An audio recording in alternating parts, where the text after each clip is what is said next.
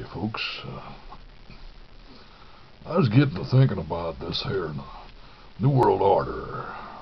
It's a coming mighty fast upon us all. I'm getting kind of worried, uh, thinking about what I should be doing, what you should be doing too. And, uh, well, uh, me, I'm going to be heading for the hills. Yeah, that's right. Uh, heading for the hills. Ain't no point in hanging around down here in the in the lowlands and in the city.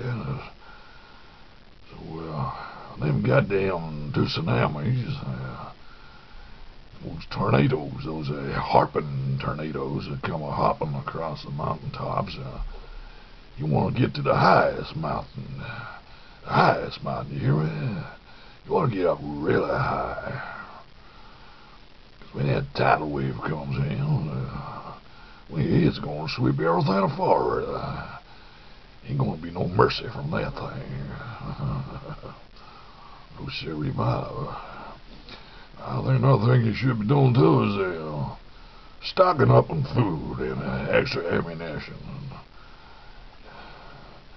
Every time you go to the store, get an extra can or two. Put them on your top shelf. And that's what I'm fixing to do. As a matter of fact, that's what I've been doing for the past six months or so. I ain't taking no chances. Uh, so you tell you, you listen to my advice, folks. Yeah. Well, wisdom here coming at you?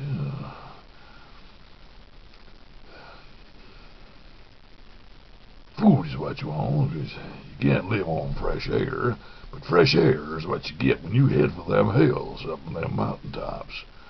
You might just be safe up there.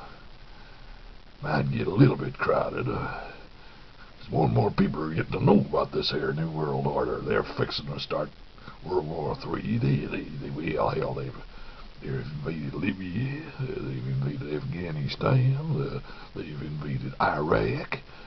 Next thing they're fixing to do is, uh, well, I reckon they're going to invade Syria and Iran. My golly, when that happens, all hell's going to break loose. And I don't want to be around, uh, frankly speaking. Uh,